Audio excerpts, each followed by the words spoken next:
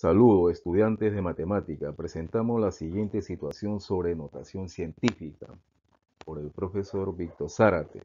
La primera situación comenta lo siguiente. La distancia de la Tierra al Sol es de 150 millones de kilómetros. Expresar en notación exponencial y notación científica. Bien, resolviendo ahí. La notación exponencial expresa lo siguiente. 150 millones de kilómetro. Observe usted ahí, vea la flecha. Ahí empieza la coma y lo vas a avanzar hasta el número 5. ¿eh? Hasta ahí llega la coma.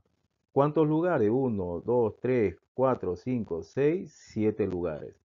En forma exponencial. Y resulta igual a 15 por 10 a la séptima kilómetro.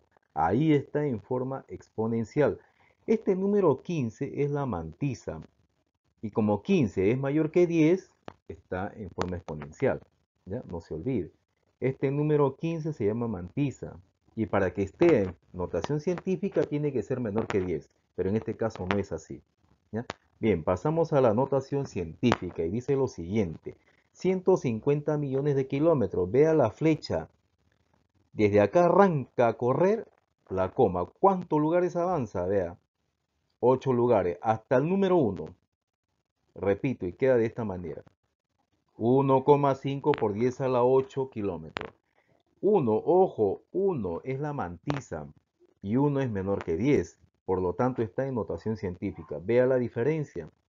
¿Ya? Vea la diferencia ahí. Bien, pasamos a la situación número 2.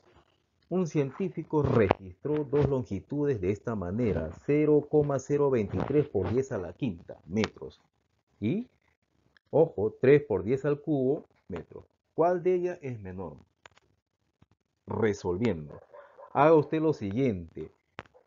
0,023 por 10 a la 5 metros lo vas a llevar, ojo, a potencia de 10 al cubo. De esta manera. Vea la coma. Avanza hacia la derecha y cuando avanza hacia la derecha le vas restando al exponente según los lugares que avanzan.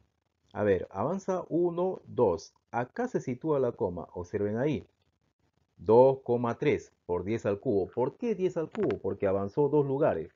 Significa que a 5 le quitas 2. 5 menos 2, 3. Y queda expresado de esta manera. 2,3 por 10 al cubo metro.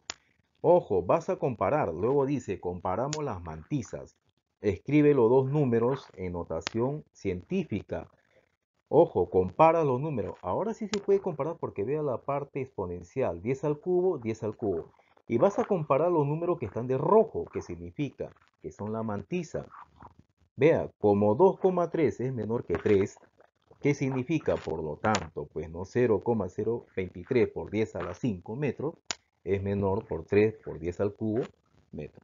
¿Ya? Así se resuelve este tipo de problema. Expresar las dos cantidades en potencia de 10 y con el mismo exponente.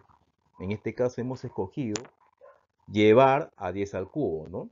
Y luego vas a comparar las mantizas. Ve ahí, ve ahí el puntero, compare las mantizas y resulta que un número es menor que el otro. En este caso 2,3 menor que 3. Perfecto, ¿no? Bien, estas dos situaciones responden a la problemática de resuelve el problema de cantidad, es decir, aritmética en la semana 27 de la página web Aprendo en casa. Excelente. Estudialo, analízalo y se agradece su atención. No te olvides de buscar siempre soluciones matemáticas en YouTube y en Facebook.